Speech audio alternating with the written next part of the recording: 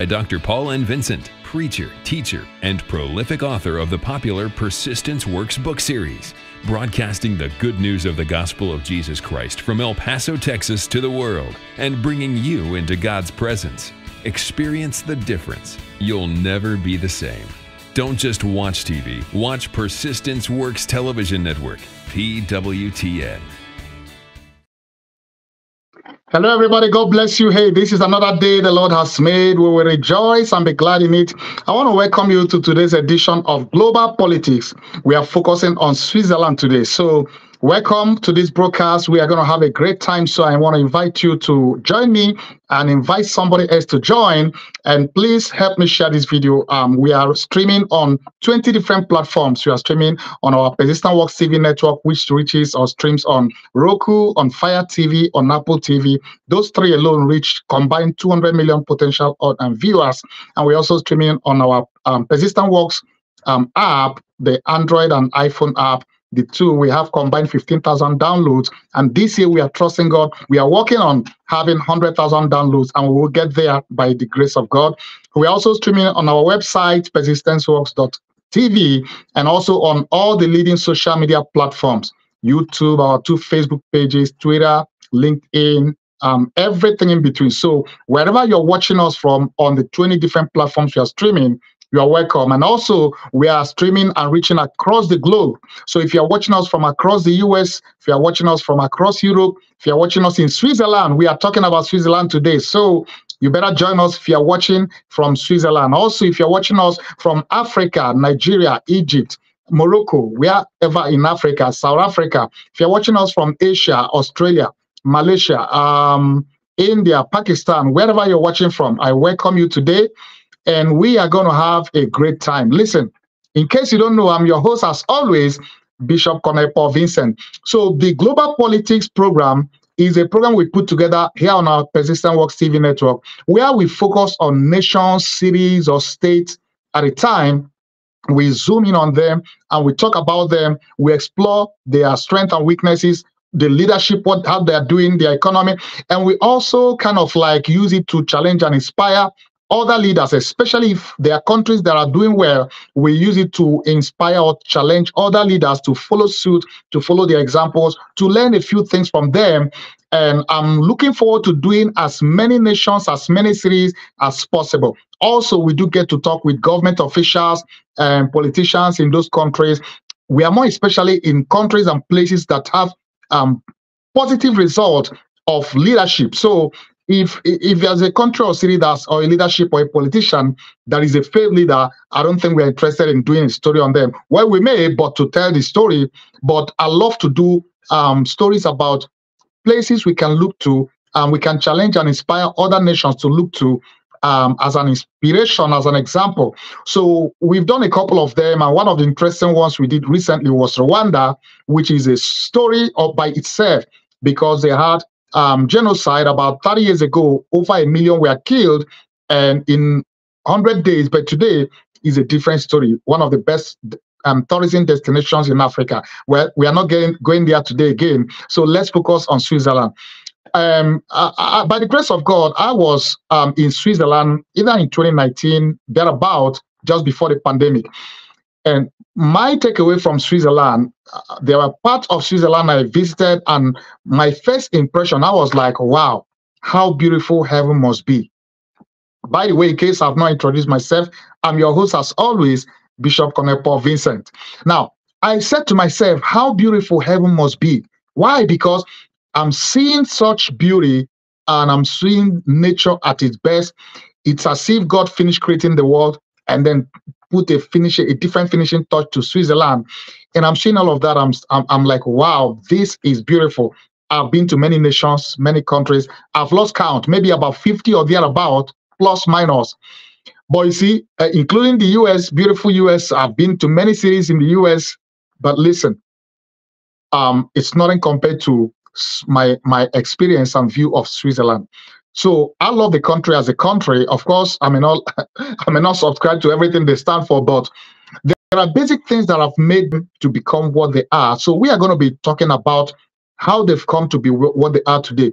And one of the big lessons or takeaway that I want world leaders, especially in developing countries, that I want them to take away is that Switzerland is a combination of five different, five also different nations, so to speak. They have Germans, they have Italians, they have French, they have Dutch. Now, all of these coexist, of course, in their history, and we're going to get into all of this in detail. In their history, of course, they, they did have times when they fought war, both both internally, internally within themselves, and also when they fought war with other nations. You see, there were nations that um, fought them, like um, the Great Roman Empire, and France. They fought war with those, but you see, they were also in in battle with themselves. But the most interesting thing is that they've learned to come to live with each other, to work together as a nation despite their diversity. And one other interesting thing I saw that I think African nations, especially those with very diverse um, population, like Nigeria, for instance, one thing I think they should take away, learn from is, even though it's a nation, I mean, uh, Switzerland, even though it's a nation by itself, it's as if they have nations within the nation because um, what we call states here, they call it canton. Now, they have 26 cantons in Switzerland. Each of those cantons are just like countries of their own. Why? Because they have their own constitution, they have their own police, they have their own everything. So it's as if what works for one for one part of the country may be very different and may not work for the other. So you do what works best for you from your constitution to your system of government to your um you know your police and everything even though they have the central government. So I think most of the African nations that have so diverse like tribes and different nations that make up the nation, a good instance, Nigeria, I think that's one of the best um, forms of government they should adopt, whereby all the different nations that make up the different entity that often make the infighting to be and the backwardness of the country to be so pronounced. Every nation, every of those states or regions can be by themselves, be their own nation as it were, even though there will still be the central um, um, nation, central government, but then each region controls its own affairs, has its own constitution, its own government, and all of that. Um, if it works, if it, it has worked for them in Switzerland, I believe it can work elsewhere. But the bottom line is that to find, uh, it's important for leaders, politicians, I don't just like to use the word politician, leaders. And I know it's not every leader is a politician. Not every politician is a leader. That is one of the things we want to accomplish in this program to challenge politicians to be leaders because it takes a leader to lead a country from from where you are from the backward from the last position to the first it takes leadership everything rises and falls on leadership but where leadership is um, missing then you will have cases of you know anything goes. You have cases of 20, 30 years later, after independence or after one democracy or the other, nothing to write home about. Things keep going from bad to worse. That is the case in many developing nations, especially in Africa, which is why when I do broadcasts like this, I challenge them, I challenge the leaders, the politicians to wake up and to learn from these other nations that have success stories you may not copy everything. Everything that works in a country may not work in yours, but there are things you can learn and glean from and apply or adapt in your country what works best. So um, we're going to get into, uh, we've put together some video as we always do, you know, um, about Switzerland, both their history and their politics and all that. But you see, one of the two of the key things that I saw that has helped them over the years, industry and banking. And that is to say they don't have as as much natural resources they don't have natural resources like most other developing countries have so much in abundance and have little to show for it.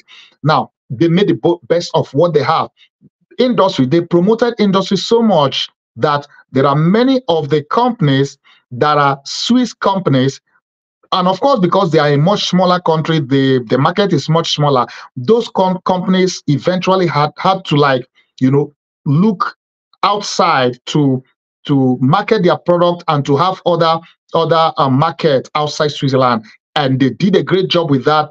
And some of the biggest global brands in the world are Swiss companies, Swiss product like Nestle, for instance, and many others. In banking, they have, I mean, almost everybody in the world knows when you say Swiss bank, you know, banking in Swiss, that they have become the number one in terms of banking because of the reputation. That's what they call banking secrecy. That's one of the key things that has helped them to retain um, their position because they they don't divulge information about their clients, about their customers. So you see people from around the world, wealthy people especially, who go and put their money in the bank there and they are um, and they are sure it's safe. Of course, politicians, corrupt politicians, especially in Africa, they exploited that too. Because in Nigeria, I remember many past leaders, military leaders, they did stash billions in Swiss bank account. Some of those monies um, were repatriated recently. But you see, that was one of the things that gave them an edge. Their banking industry became uh, top notch, that it became one of the biggest um, thing going on for the economy even though in recent time that has changed too, some of US policies in trying to crack down billionaires who try to evade tax and put um, stash their money abroad. So all of those and EU, they have adjusted in some of those, but it has also remained a key part of their economic growth and powerhouse. So that is to say, you may not have natural resources, you may not have oil, but there may be things you are good in, you can um, develop and be known for, and that could be what you can you, you can use to drive your economy. That's a big thing to lesson to learn from from for other nations because you may not have what other nations have, but what you have or what you are able to have or create, you can make the most of it. You can make the best of it. So um, we are, I'm going to get into other aspects of it, but before then. I want to put uh, we've put together a video or some videos, and I want to I want you to pay attention to watch it It takes you through the history of Sing- uh, I was going to say Singapore. I've done Singapore before. The history of Switzerland, and uh, and by the way, towards the end of this um, broadcast, I'm going to have some of the videos and pictures of my my visit there a few years ago. Um, you know, I put together some of those videos, um, pictures. But before then, you know, so the videos we've put together, um, you're going to be watching some of the history, uh, the, the, creation, and some of the politics. And I did a little tourism for, I mean, uh, they should be paying me for promoting tourism for them. But I put together some video as well, you know, of um, some of the best places to visit. So if you ever want to pl- or plan to visit Singapore, we have some tips on of some of the places to visit. And I, I'm so glad that I'm doing this today because it's one of those countries that I've always wanted to visit and by the grace of God, it's one of those countries I've I've eventually visited. I'm like, you know what, dreams do come do come true. Even though I hope to, you know, there again. I mean, from time to time. And someday, like this program, one of our goals is to get government officials, um, politicians, leaders, political leaders, to get them to interview them on this program. So we are going to be reaching out and interviewing some of the leaders um, of the, these nations we cover very soon. And by the way, if you're watching this and you are a political leader of any nation in the world and you want us to focus on your country, you want us to interview uh, maybe a president, your governor, a mayor, and you want us to talk about your country, your city, your state, maybe there is something you are doing in your in your state, in your city, in your nation, and there have been positive changes from when you took over we reach out to us. We want to do a story to to to, to focus on your city, your nation, your um, state, and be able to let the world know what's going on. And we are hoping that these broadcasts will do help inspire political leaders, especially and other leaders, to do the best they can to serve their people, to serve their nation, their state, their city, to serve humanity. So that by the time you leave office, you should be leaving it better than you found it. You shouldn't be leaving it worse than you found it. If you leave office worse than it was when you got there, you are a failed leader and you are failed. And that's why we have many failed leaders in Africa. And I'm hoping that these brokers will do help inspire and challenge most to become better leaders. So um, stay by, uh, stay, um, stay, stand by and watch some of these videos we've put together, and I'm sure you are going to be inspired. You are going to enjoy it, and I'll be back um, soon to talk about and discuss more about Switzerland. So you have been watching Global Politics. Today we are focusing on Switzerland. So let's go together to Switzerland.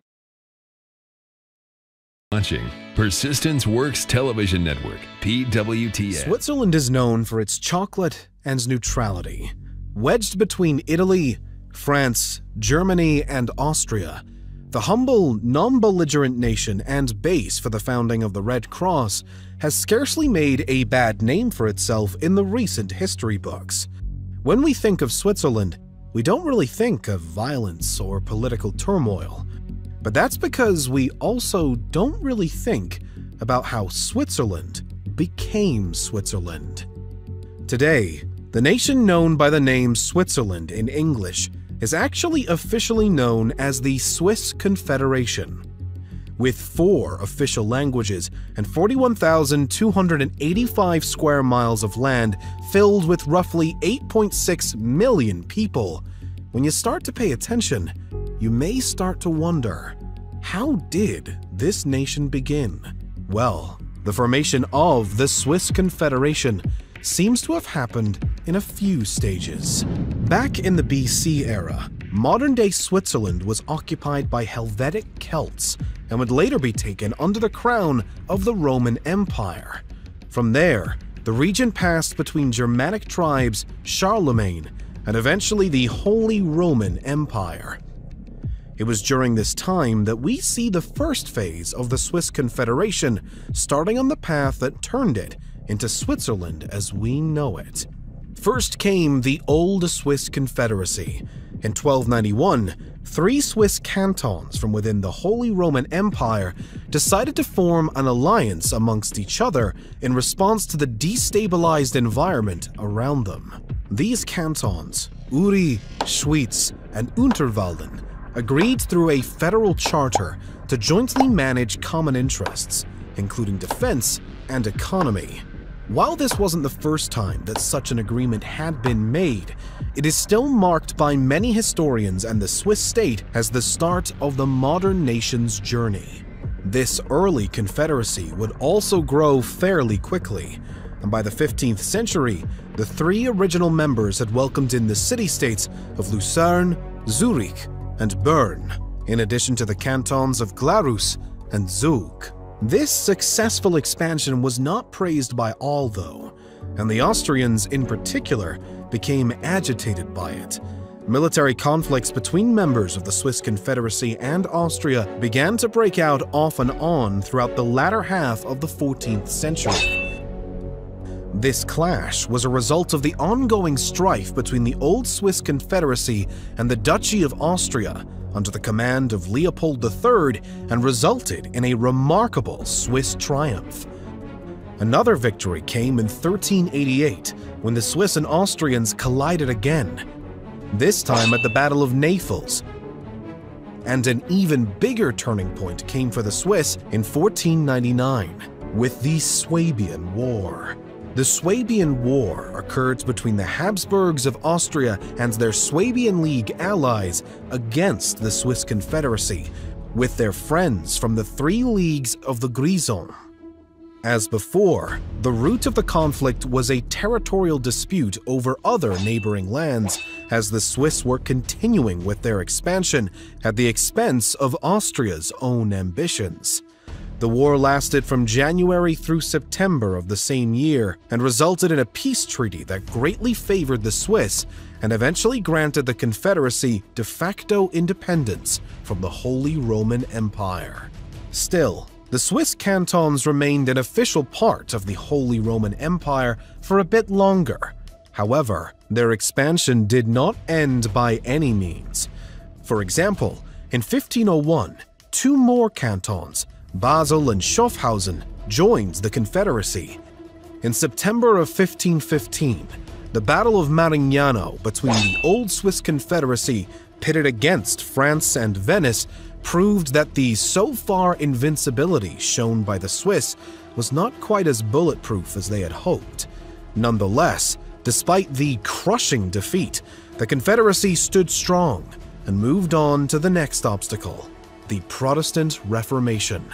The Swiss Confederacy was directly affected by the Reformation and subsequently became greatly divided. Between the influence from Luther over in Germany to that of Zwingli and Calvin, the Swiss were overwhelmed by Protestantism, and many began to follow the movement and align with its beliefs. This caused a rift between those newly Protestant Swiss and the remaining Catholics within the Confederation, and a period known as the Wars of Kappel and later the Wars of Villmergen came as a consequence. Despite the internal conflicts, though, The overall shared interests of the Confederacy members proved to be of high importance and managed to hold the alliance together. As a result, by the mid 17th century, with the signing of the Treaty of Westphalia, the Swiss Confederacy was able to gain full independence from the Holy Roman Empire. Though freedom was sweet, it was short lived for the Swiss. In the late 18th century, Napoleon led his troops into the Swiss cantons for a successful annexation that resulted in the establishment of a centralized government and a single state under the French. It took almost two decades for this to be undone with the Congress of Vienna in 1815, but this finally re-established the original Confederacy. Additionally, this agreement reconfirms the former neutrality that the Swiss Confederacy had established back with the Treaty of Westphalia and allowed the admission of Valais, Neuchâtel, and Geneva into the Confederacy. This victory quickly led to another major step toward the establishment of today's Switzerland. After freeing itself from the grasp of France, the Swiss Confederacy faced a new string of internal conflict as the Catholics hoped to maintain the structures of old, while the Protestants wanted to create a more unified federal state instead, amongst other civil and religious disputes between the sides. Ultimately, the Protestants won the day, and it was decided that Switzerland would become a more unified federal state with a new official constitution in 1848. Later revisions were made to the Constitution in 1874 and once more in 1891, with some slight amendments also made in 1999. Thanks to this Constitution and its amendments, referendum democracy and autonomy for the included cantons became the new pillars of Switzerland's structure, and much of the Constitution was modeled after that of the United States. Some interesting inclusions in the new Constitution were, for example, one clause that allows the entire Constitution to be rewritten if that was found to be necessary. Another put an end to Swiss troops serving abroad outside of the Holy See and under Francis II of the Two Sicilies. Furthermore, the 1891 update put a strong emphasis on direct democracy and, for the most part, finalized its contents. During the 20th century, Switzerland continued to shape itself as a unified nation and a strong European political entity.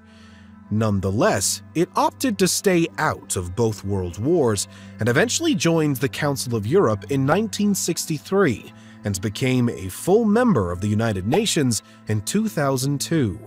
While attempts to join the European Union ultimately resulted in a culmination of failure and withdrawal of effort, Switzerland still maintains close ties with its surrounding EU neighbors and did vote to join the Schengen area. So today, the Swiss Confederation, or Switzerland, is a unified nation of roughly 64% Swiss German speakers, 22% French speakers, 8% Italian speakers, and the remaining Romansh speakers, with its constitution dating back to 1848, while many argue that the true date of the nation's origin can be traced all the way back to 1291. The question of how Switzerland came to be formed can be answered in a few ways one being the simple timeline of how it happened. The formation of the old Swiss Confederation, the expansion period, freedom from the Holy Roman Empire, the centralization under Napoleon, the re-establishment of the original confederation with the Congress of Vienna, the Civil War, and finally, the establishment of the modern confederation and its constitution. This, of course, fails to address the rest of the how, or maybe the why.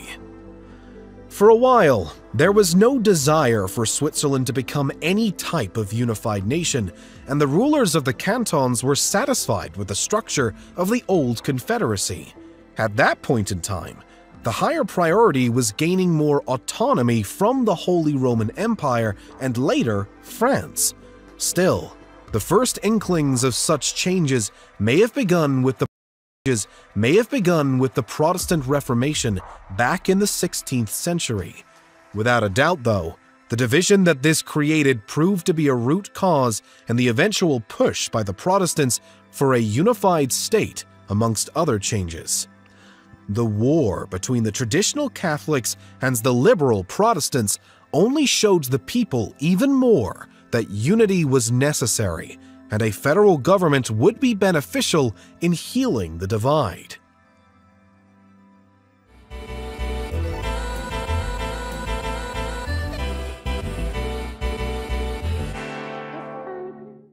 Welcome to Pangea. Today we're going to take a closer look at the Swiss political system. Switzerland is divided into 26 cantons. Each canton has an independent constitution, government, parliament, court and police and is again divided into several communities. Each community, each canton, and the Swiss national government are therefore responsible for certain political fields. For example, the communities are responsible for kindergarten and primary school, the canton for grammar school, and the Confederation of Switzerland for, for example, the ETH Zurich, the University of Technology in Switzerland. In this video we will mainly focus on the national political system because every canton works slightly different from the others. All four years, the Swiss means a person over 18 with Swiss citizenship vote on the members of the National Council and the members of the Upper Chamber. In the National Council, each canton gets assigned a number of seats in proportion to their residents. For example, the canton of Geneva with approximately 300,000 residents with Swiss passport gets assigned 11 seats whereas the canton of Schaffhausen with approximately 60,000 residents with Swiss passport gets only assigned two seats.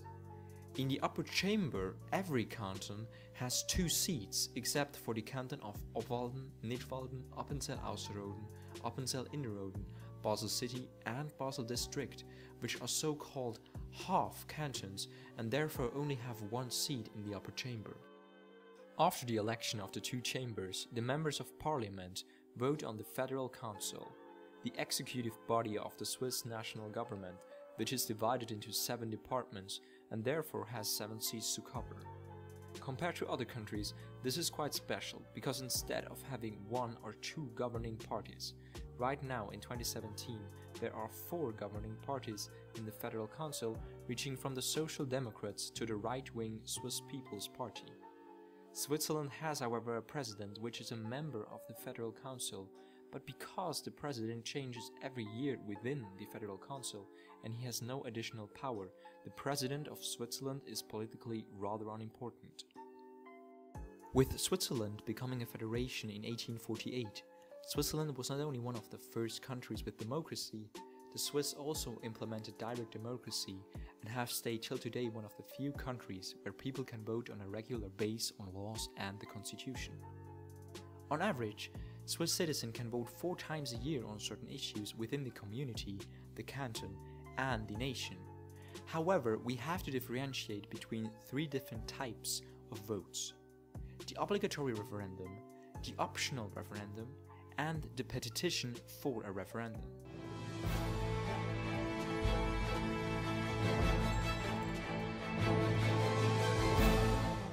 An obligatory referendum has to take place when the two national chambers have agreed to change the constitution. And to put a new article into place, the Swiss citizen have to decide whether they support it or not. An example would be the Pension Plan 2020, which was accepted by the two chambers in January of 2017 and which will be voted on the 24th September of 2017.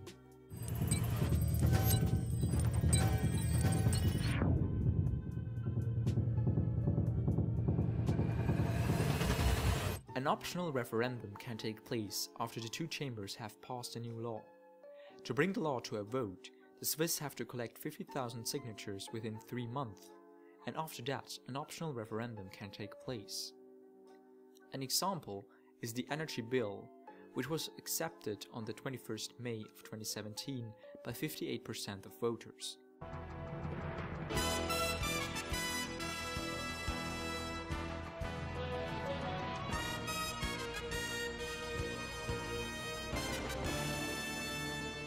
The third option is called a petition for a referendum and makes it possible for the Swiss to change the constitution without the parliament. To bring it to a vote, they have to collect 100,000 signatures within 18 months.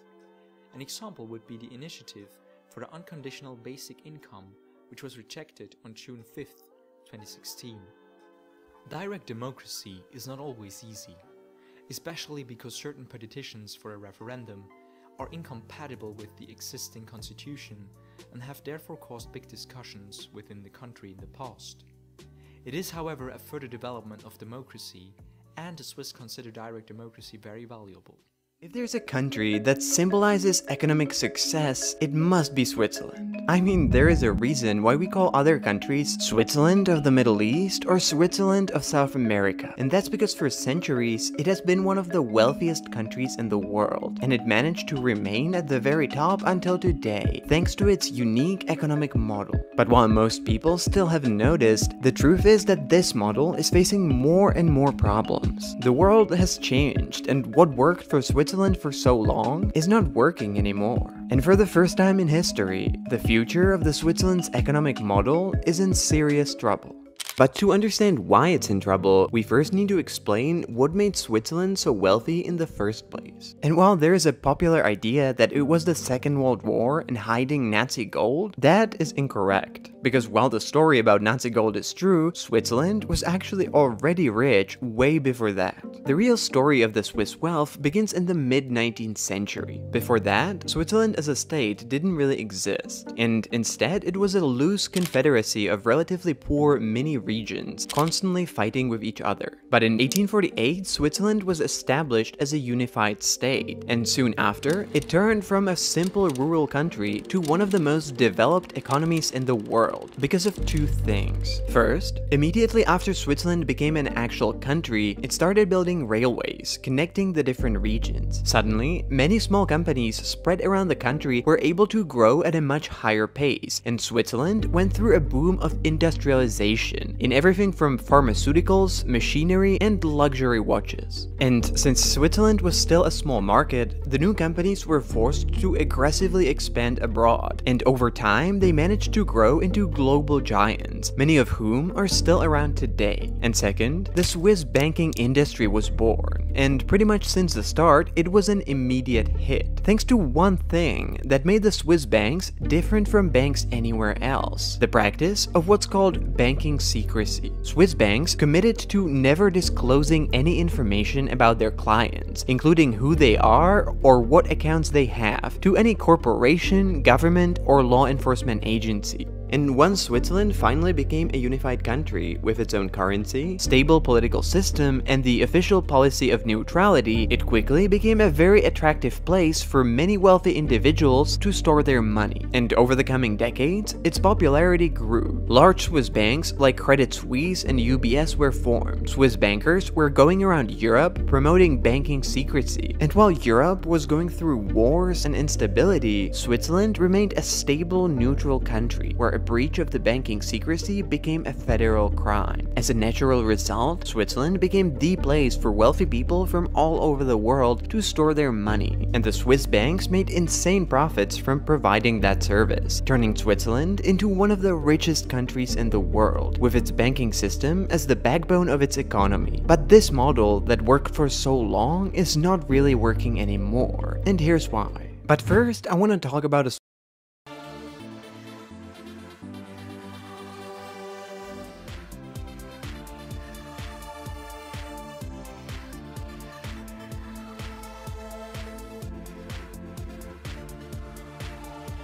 Number 7. Zurich. Switzerland's largest city, Zurich, will appeal to travelers with an interest in culture, since it boasts more than 50 museums and over 100 art galleries. When visitors get tired of shopping for internationally famous Swiss brand name goods, they can take a boat ride on Lake Zurich or go hiking in the nearby mountains. The city also boasts an impressive number of clubs for travelers who enjoy going out at night. Not to be missed is the Swiss National Museum, located in a fairy tale castle. It is dedicated to Switzerland's cultural history. But recently their problems have been growing bigger and bigger. It all started in the US, in the aftermath of the economic crisis of 2008. In the same year, when the US economy was hit by a major financial crisis, Barack Obama won the presidential election. On, among others, the campaign claimed that everyone needs to pay their dues, and that the government needs to crack down on wealthy Americans that are avoiding paying their taxes. And he specifically named Switzerland and Swiss banks with their secret accounts as the culprits that make this tax evasion possible. Once he assumed office, Switzerland found itself under an ever-increasing pressure from the US government to breach its centuries-long tradition of banking secrecy and hand over the information about their American clients, something that was actually against the Swiss law. But even though Switzerland fought tooth and nail against it, there's only as much that you can do when the most powerful country in the world really wants something from you. And as it happens, tax revenue is a pretty important motivation for the US government. And when the US was joined by the European Union, Switzerland found out that there's not much it can do. And rather than facing gigantic fines and sanctions, Swiss banks backed down. And since 2008, they went from not giving any information to anyone to providing information about their clients from the EU and the US to their respective governments every year. So while formally the banking secrecy still applies, in reality the practice no longer exists. And if you're an American or a European citizen, putting your money in a Swiss bank account is not any more secret than doing it in your own country. And that is naturally very bad news for Switzerland, since the centuries-long tradition which made the Swiss banks so famous and so attractive disappeared in less than a decade. And every year, the Swiss banks are forced to open up more and more. In order to save their clientele, and at least some of its appeal, the Swiss banks tried to change their value proposition. If they can't offer secrecy anymore, they double down on the offer of stability. You might no longer be able to hide your money from your own government in Switzerland, but at least you know that they are safe.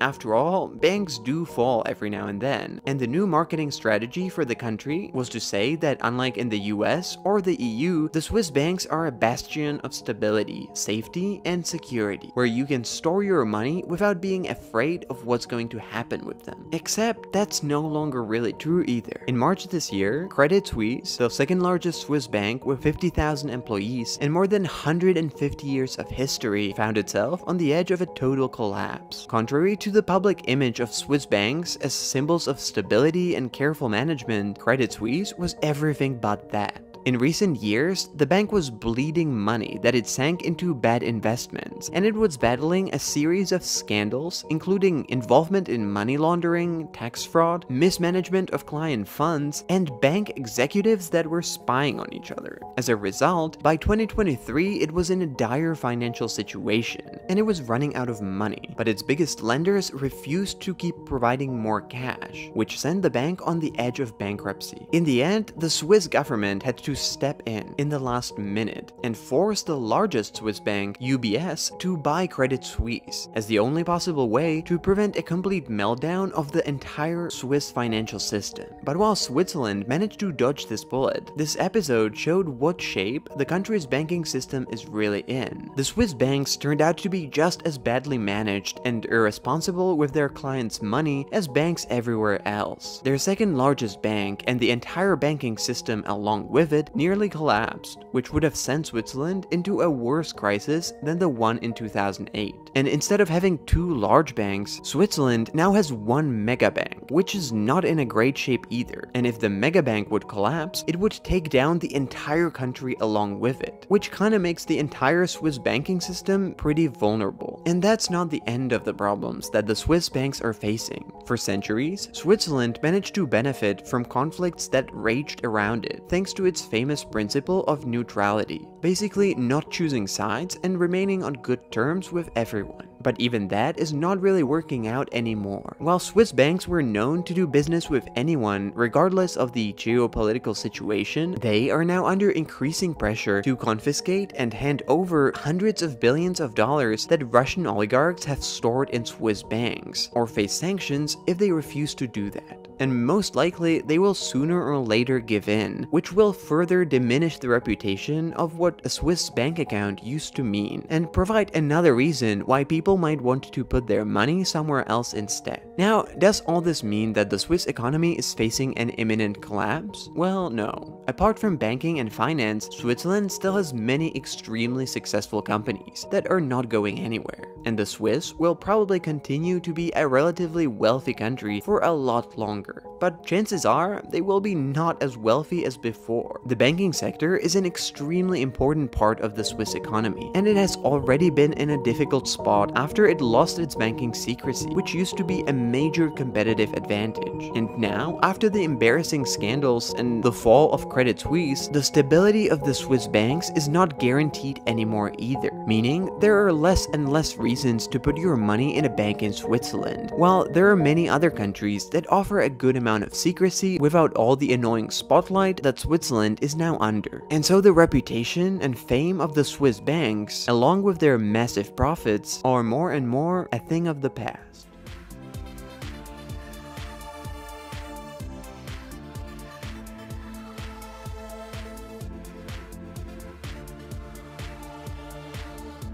Switzerland is a small country that sits smack dab in the middle of the Alps, making for 360 degree scenery wherever a person finds themselves. Numerous lakes also add to the picture postcard look of this country, whose most famous citizen may have been the fictional Heidi. From banks to bucolic alpine meadows, Switzerland has it all. Here's a look at the best places to visit in Switzerland.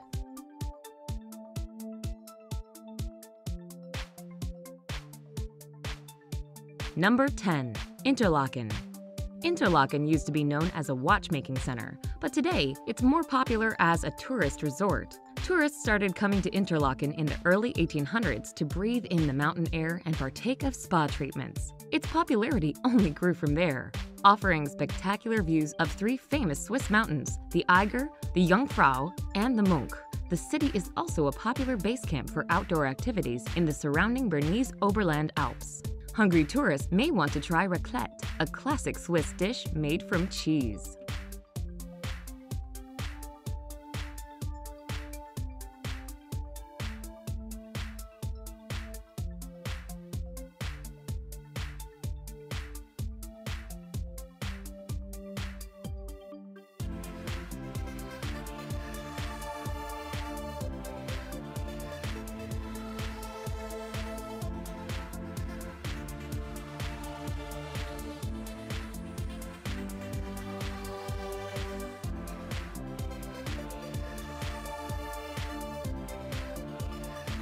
Number 9.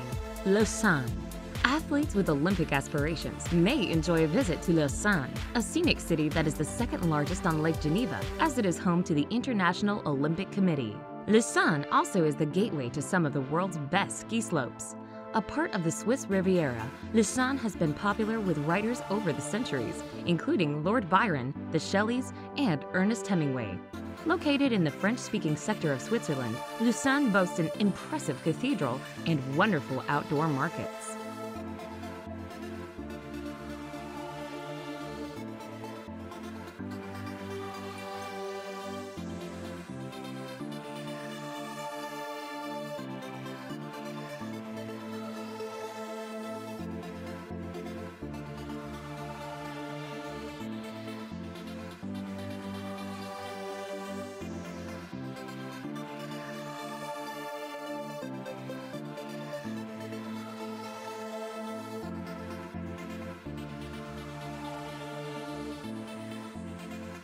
Number 8. Geneva. Geneva is a city where international influences reign supreme. It is home to the International Red Cross Committee and the European headquarters of the United Nations, as well as 20 other international organizations. Environmental travelers will enjoy the fact that Geneva is a green city, with 20% of its land devoted to parks, earning it the nickname of City of Parks. Top sites include the Cathedral of St. Pierre, where John Calvin gave famous sermons, and the United Nations headquarters. Geneva also is a good city to explore by bike or rest weary feet by taking a boat ride on Lake Geneva.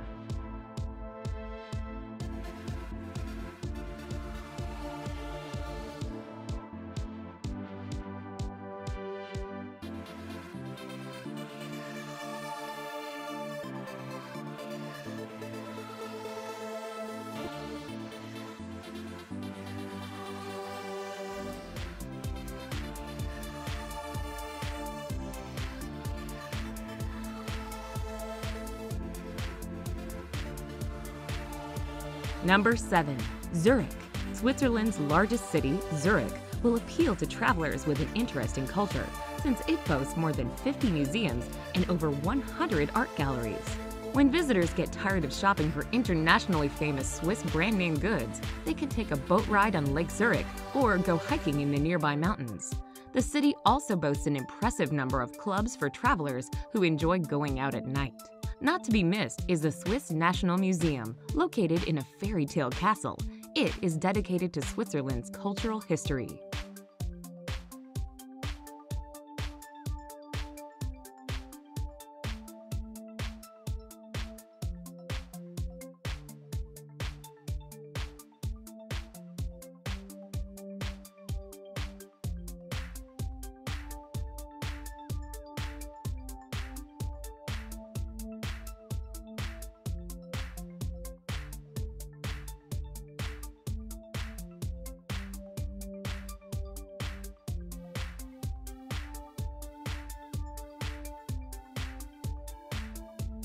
Number 6. Zermatt. Zermatt is a small town that is famous for skiing and mountaineering due to its proximity to the Matterhorn, one of Switzerland's highest mountains. Cable cars whisk skiers up surrounding mountains in the winter and hikers in the summer. Zermatt is a good town for walking to various sites since gasoline-driven vehicles are not permitted. Any vehicles within the city limits must be battery operated. Fortunately, for visitors, it takes 30 minutes or less to walk between sites. The town is accessible via scenic train routes that connect it with the outside world.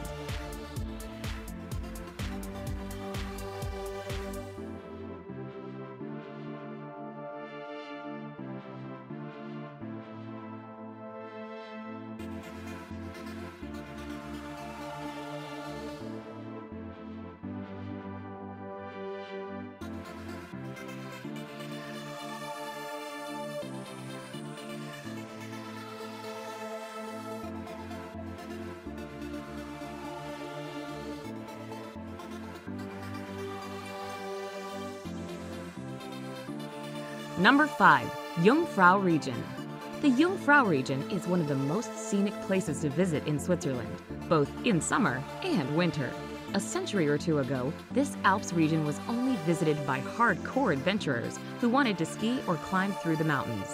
Now, thanks to an extensive network of railways and well-maintained foot and bike paths, the area is accessible to many types of travelers. The Jungfrau region consists of four picturesque towns, Grindelwald, Mürren, Lauterbrunnen, and Wengen, and three imposing mountains, Eiger, Munk, and Jungfrau.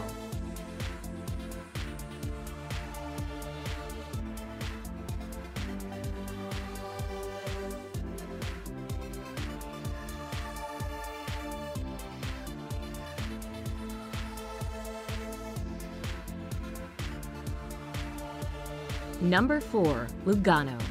Lugano has been nicknamed the Monte Carlo of Switzerland because of its growing popularity with celebrities. The city is located on Lake Lugano in the Italian-speaking section of this alpine country. Lugano, which is blessed with warm summers, dates back to the 9th century. The city is home to a large number of Swiss heritage sites, including three cathedrals and several museums. Home to numerous financial institutions, the city also hosts an annual classic music festival, the Lugano Festival in the summer.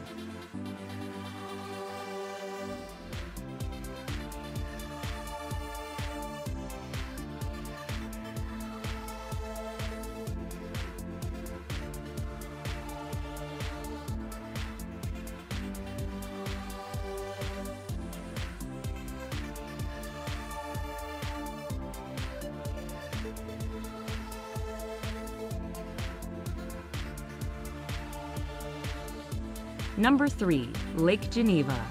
One of the largest lakes in Europe, Lake Geneva lies on the course of the Rhone River, on the frontier between France and Switzerland. Aside from the city Geneva, most destinations in the Lake Geneva region are in either the Swiss canton of Vaud or the French department of Haute-Savoie. The geography is varied, with the Jura Mountains in the north, a hilly plain in the center, and in the southwest, the Alps.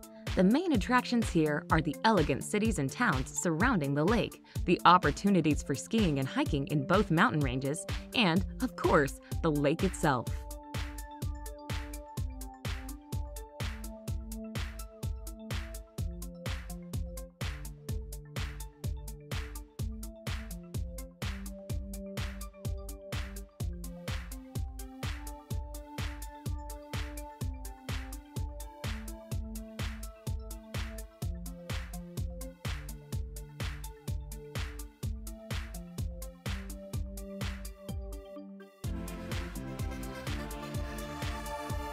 Number 2. Lucerne. Lucerne, located in the German speaking section of Switzerland, is a city that has it all city life, a lake, and mountains. Considered one of the world's prettiest cities, Lucerne is most famous for its 14th century chapel bridge and water tower, which is said to be the most photographed monument in Switzerland.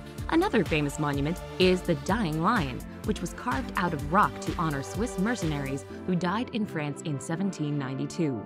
Hungry visitors may want to try Luzerne Kugel Pastet, a local specialty made from puff pastry, veal, and mushrooms doused in cream sauce.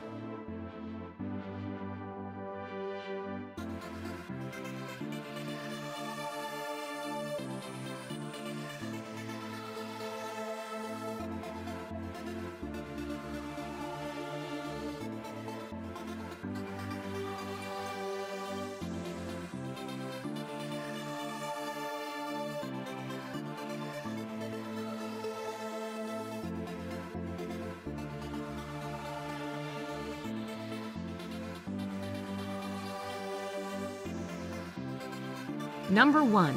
Bern. Bern is a picturesque medieval city with a history that dates back to the 12th century, though it did not become a part of the Swiss Confederacy until the 16th century. Its most famous attraction is an ancient clock tower with moving puppets that once served as the western gate of the city. Other popular sites in Bern include the Münster, a Gothic cathedral that rises from the old town, and its town hall. The bear is the symbol of Bern, with several being kept in an open-air pit. Shoppers will appreciate the old town that boasts four miles of arcades, making it one of the longest covered shopping areas in Europe.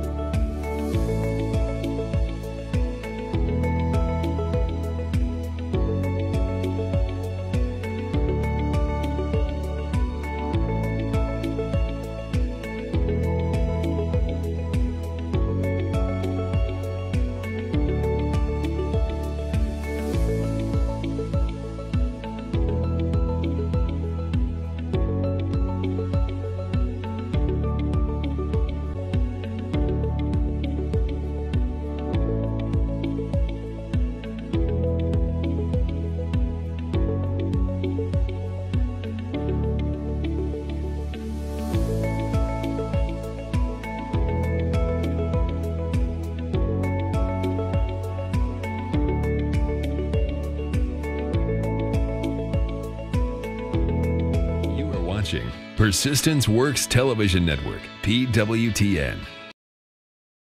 Hey, welcome back. Welcome back. I hope you enjoyed that um, those um, presentation.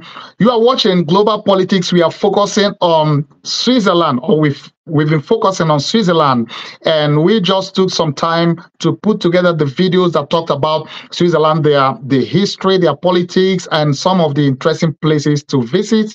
Um, because you can't really talk about Switzerland without talking about um, places to visit because it's a very beautiful, lovely city, um, nation. And as I said before, I visited Switzerland for missions, for ministry, and I also took time to visit a lot of interesting places like the last few videos, um, pictures you saw.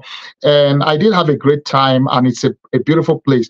So um, the bottom line of it all is that it's one of those success stories uh, of a nation, and they did some things that has worked for them and the challenge now is for developing nations, especially, um, especially in Africa, to learn a thing or two to um to to take a leaf from some of the things they've done that has worked for them, despite the fact that they don't have natural resource like oil. Because often people think, oh, if you don't have oil, you are doomed. A country like Germany doesn't even have oil.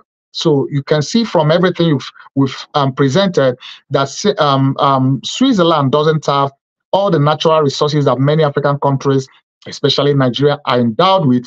Yet they've done so well for themselves.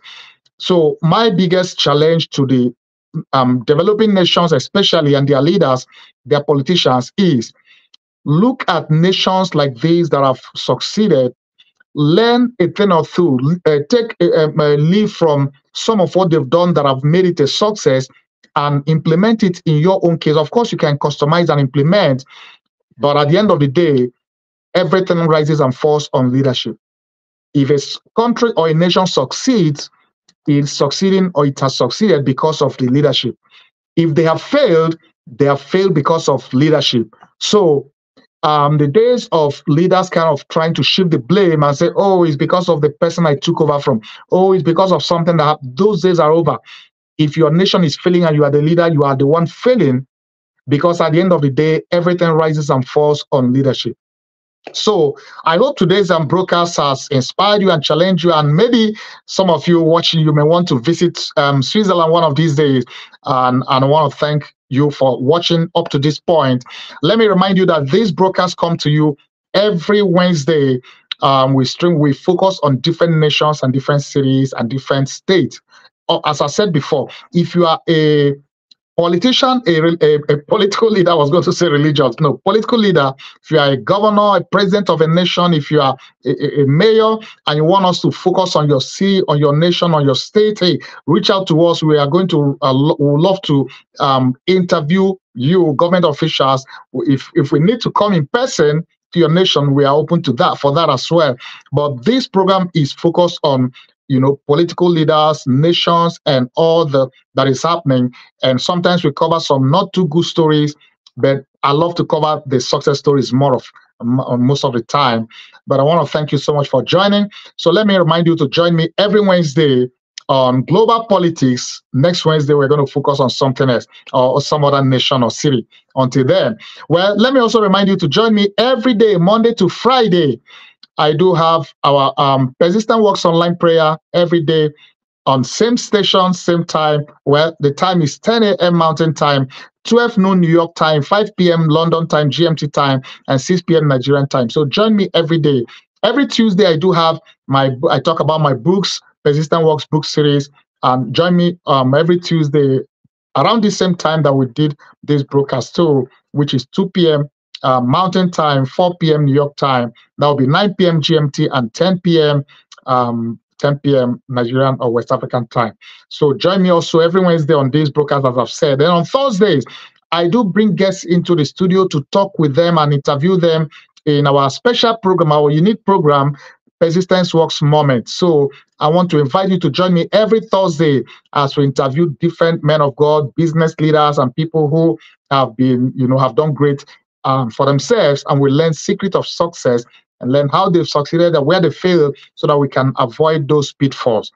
And then on Fridays, we celebrate birthdays. I love to celebrate birthdays. So if your birthday is coming up, hey, reach out to us. We want to help you celebrate your birthday. So it's your birthday on Persistence Works TV network. So we we we do that every Friday. We have different packages, you know, so you you will enjoy, you know, the package we put together we'll get some American celebrities to sing happy birthday, to sing and wish you happy birthday. If you want to watch some of the past editions we've we've done, just go to our TV um, channel. If you're on Roku, on, on Fire TV, on Apple TV, on our app, our Android app, iPhone app, just go to the video on demand session and you'll see the birthday. It's your birthday um, um, segment.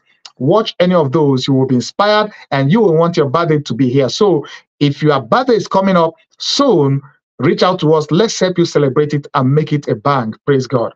And then I want to remind you once again, our magazine, Persistence Works magazine, we do publish it. Uh, now it's being published by monthly. So the current edition is is really very powerful, very interesting. So I want to, you can read it from our app. You know, you can also go to from any of our website. You can go to Persistence Works Mag, persistenceworksmag.com to read it, uh, to read each of the editions. The next upcoming edition is going to be even more powerful. So I want to thank you for your time.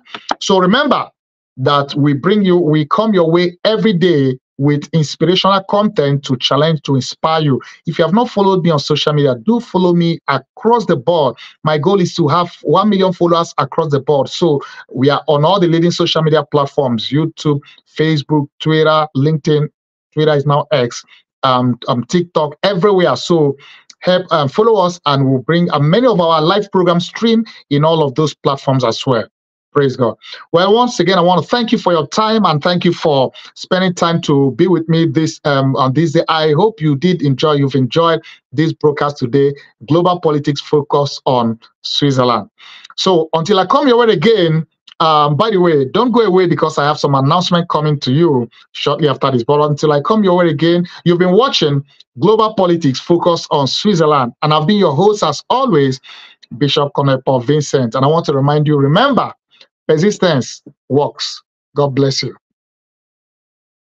We hope you've been blessed by today's TV broadcast. Join us again for our next TV broadcast. If you have a testimony of how you've been blessed, please let us know. Send us an email at persistenceworkstv at yahoo.com.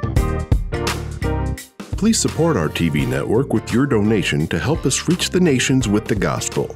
You can give through PayPal, Zelle, Cash App, or online at www.persistenceworks.tv. You can make your checks payable to Vincent Paul Ministries International at 11829 Gwen Evans Lane, El Paso, Texas 79936 USA. Attention, pastors and bishops. If you want to air your church or ministry program on Persistence Works TV network, or you want to promote your product or services, contact us today. Send us an email at persistenceworkstv at yahoo.com. Download our Persistence Works TV network app in the App Store or Google Play Store. Also, add us and watch us on Roku, Fire TV, and Apple TV. Read our Persistence Works magazine and enjoy great content. Simply visit the settings page of our Persistence Works TV network app, click on the button to read the electronic edition of the magazine. To order the print ebook or audiobook editions of our Persistence Works book series, visit the settings page of our Persistence Works TV network app.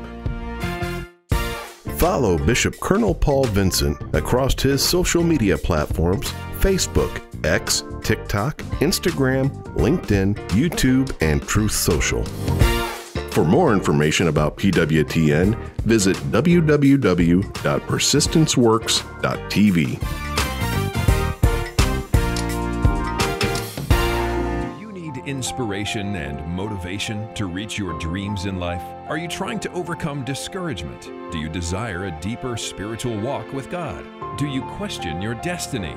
Then the Persistence Works book series by the prolific author and international speaker Dr. Vincent N. Paul is written for you and is now available in paperback, audiobook, and ebook. Order today by calling 866 909 2665 or go online persistenceworks.com.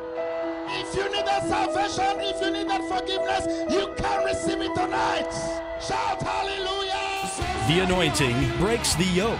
Hear Dr. Paul N. Vincent preach the anointed word of God that changes lives and brings salvation, healing, and deliverance. Invite him to minister in your church, conference, or crusade. Also, read his life changing books in the Persistence Works series. For more information about inviting Dr. Vincent to minister or to order his books, visit VincentPaulMinistriesInternational.com. Dr. Paul N. Vincent, internationally known author and preacher, invites you to his annual Persistence Works Holy Land Tour in October and April. These memorable trips throughout Israel include visiting historical sites in Jerusalem, Nazareth, and Bethlehem, as well as the Sea of Galilee, the Jordan River, and many more. Your travel package includes round trip airfare from Houston, Texas, and Lagos, Nigeria to Tel Aviv, first class hotels, two meals a day, air conditioned buses, and Israeli Ministry of Tourism approved English speaking guides. For more and to register, visit VincentPaulTours.com today. For more information about PWTN, visit www.persistenceworks.tv.